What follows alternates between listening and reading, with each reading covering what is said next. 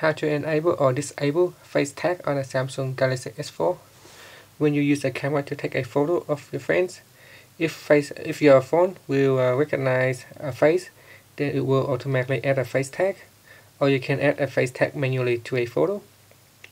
Now um, when you first have your phone you will need to um, uh, basically put in the face tag manually and over time your phone will learn to recognize the face against the name um, on your phone. So uh, after that uh, it should automatically um, uh, if it recognizes the face of your friend it will automatically add a face tag to that picture. Now to enable or disable face tag you need to go back to your home screen by pressing on the home key then launch the gallery app. From here in the gallery simply tap on the menu key and tap on settings. In, setting, in settings um, scroll all the way down to the bottom and under the tags section uh, make sure face tags checkbox is selected. So if it is selected it is enabled.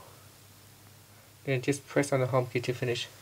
Thank you for watching this video. Please subscribe to my channel for more video tutorials